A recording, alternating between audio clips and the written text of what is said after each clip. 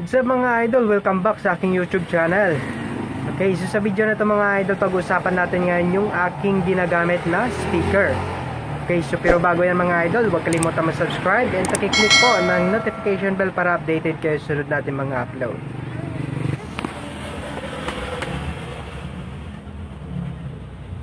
Okay, so mga idol, ito po yung aking speaker na ginagamit. Ayan. So ito po ay Battle 12 ng live. So 1,600 watts. So ipo-pull out ko muna ito sa kanyang box kasi nagkaroon ng uh, distortion, no? distorted yung kanyang tunog. So nakita ko yung kanyang uh, damper yung spacer ng damper sa ibaba na nakadikit dito sa magnet ay natuklap so iano natin yan. I kokorek natin yan.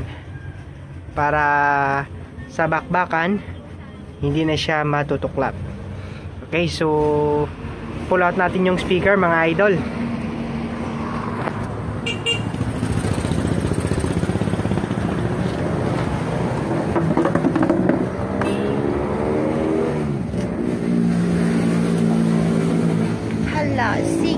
dahil nasira.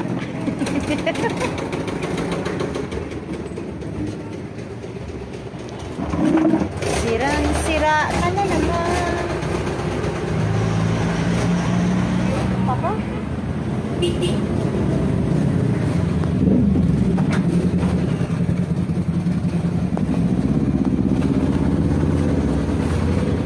Okay, so bali ito po siya mga idol, yung kanyang ano pag nakatihaya, yung kanyang cone.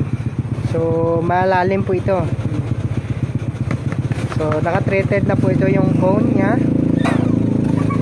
Okay, so nakita ko dito yung ano sa ilalim, yung ng damper.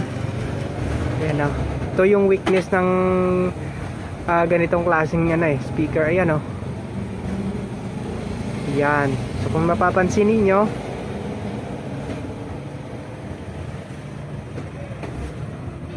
Yan. So yung kanyang ah, spacer ng damper ay natuklap. So kailangan natin yan i epoxy. So ayan oh. Yan. So sumasabay siya. Kaya nung nag-testing ako kanina, so ano siya? Parang bumabagrak, no? Distorted yung kanyang ano kasi sumasabay yung kanyang damper. Okay, so siguro pwede nating i epoxy yan mga idol.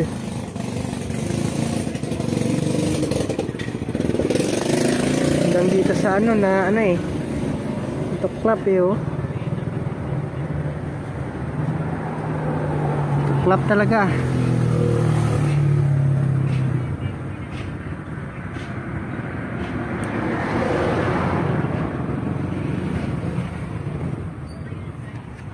Okay, so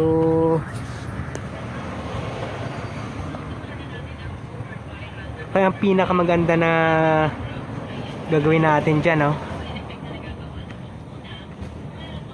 Pwede siguro to lagyan natin ng ano, ng stopper.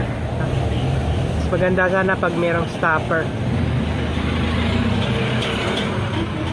So ano na lang natin to mga idol kung ano pwede natin gawin dito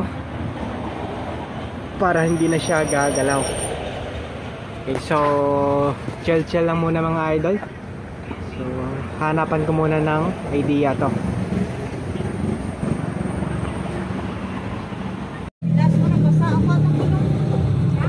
Okay, so mga idol, ayan na siya. So nalagyan na natin yung damper niya ng epoxy.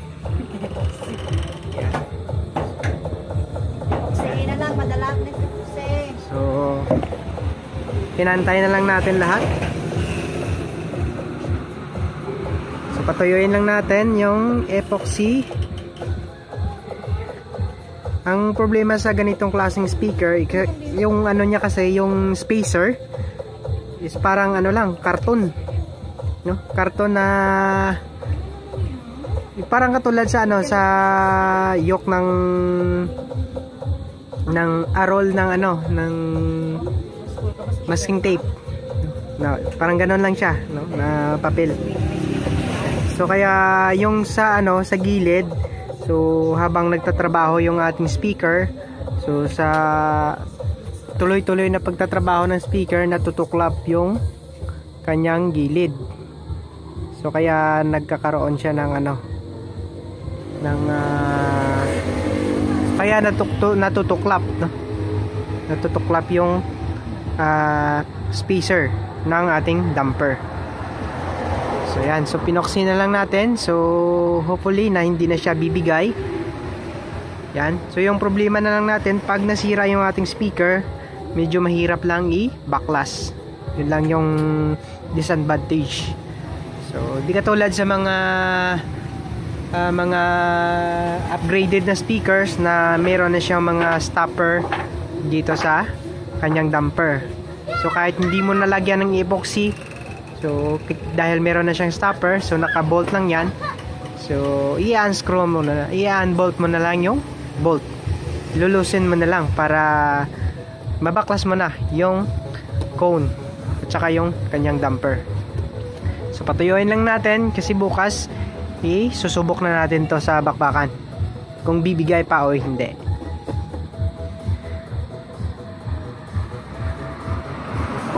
so yan so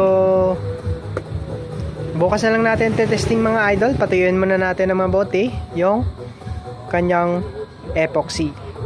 So plus 5 epoxy lang po mga idol. Yun lang pinakamatibay na ano na pandikit na uh, epoxy. At saka madali siyang tumuyo. Okay so maraming salamat po mga idol bali mga idol ito na po siya yung speaker na nilagyan natin ng epoxy yung kanyang uh, spacer sa damper. Yan. So susubukan natin mga idol kung okay na yung tunog. Kasi nagtaka ako nung nakaraan na iba yung isang tunog ng isang box ko. Ano siya distorted. So yun pala yung kanyang spacer sa damper ay natuklap. So susubukan na natin yan mga idol. So plus 5 lang po yung nilagay natin dyan. Susubukan natin kung uh, nagde-distort pa siya o wala na. Try natin yan mga idol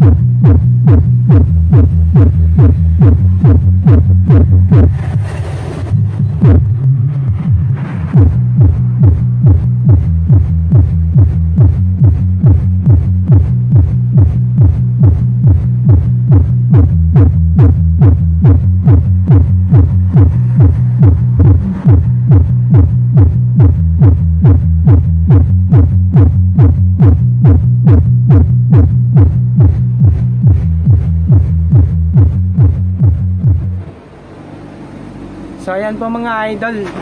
So ah, okay na. Hindi na distorted yung tunog. So abangan na lang sa next vlog natin kasi try natin sa ano to sa bakbakan. Try natin yan mag uh, bridge mode. Kung ayos na, kung hindi na siya tutuklap. Okay, so maraming salamat mga idol sa pagtutok uh, dito sa Jirubi Electronics Center. Sa hindi pa po nakasubscribe, so don't forget to subscribe mga idol and pakiclick na lang po ng notification bell para updated kayo sa sunod nating mga upload.